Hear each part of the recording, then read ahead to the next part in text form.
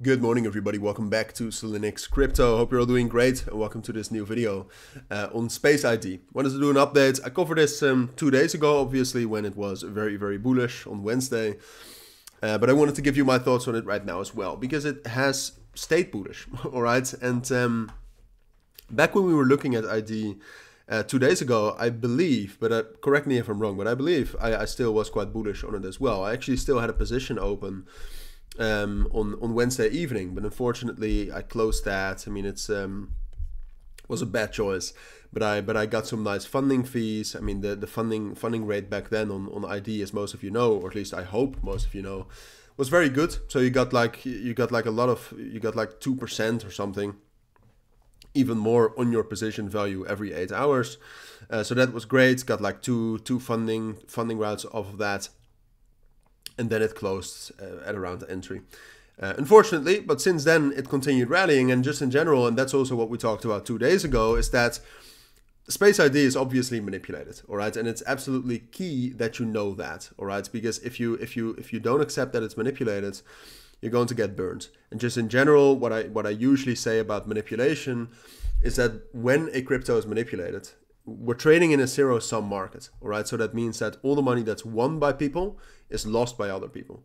And manipulators typically win money. So if you divide the market and if you divide trading in the manipulators and retail, you and I, if manipulators make money, which they usually do, retail loses money. All right. So uh, we're all part of retail. If you're a newer trader or something like that, I would just stay away from this. All right, but those are my thoughts. That's an alert I have to check out in a moment. Um, but that's just just what I wanted to tell you out of out of experience. But at this moment, I mean, I must say that there's no there's there's no confirmation, there's no bearish confirmation for Space ID yet. And it actually at this moment, I would say it looks most likely that we'll just continue to be bullish. Um, our main price our main resistance level right now is 65 cents. We tend to respect the psychological levels quite well. Uh, so right now you can see 55 cents was also respected. Uh, the level around 50 cents was also respected. So now the big question in my eyes is, well, all right, we're getting a lot of liquidations here, especially a lot of short liquidations. And that's what I'm telling you. I mean, people uh, like retail sees this price and thinks, well, this has to fall, which is true, but it can still go up much more before falling. And then you get liquidations like the, oh, uh, excuse me, liquidations like these. RSI is still very high. Uh, so I do think some sort of a crash is coming, um, but the open interest is still fine.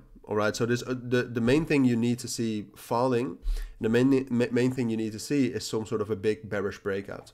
All right. So at this moment, open interest is still fine, and the price is still on top of 60 cents.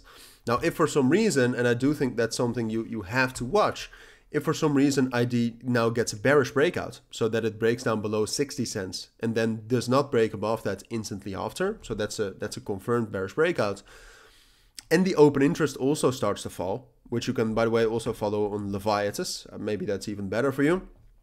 That's L A E V I T A S, laevitas.ch.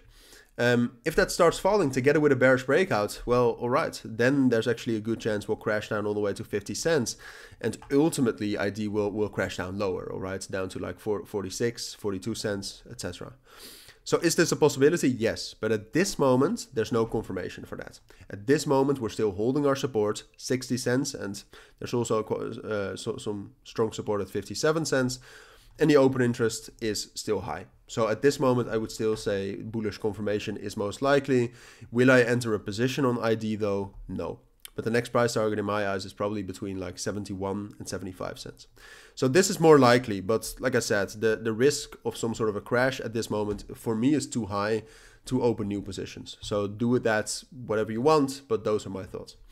Uh, if you do have any questions, of course, let me know down in the comments. There you can also find more on my premium and signal group. That's up to you. For now, thank you for watching. Take care and bye.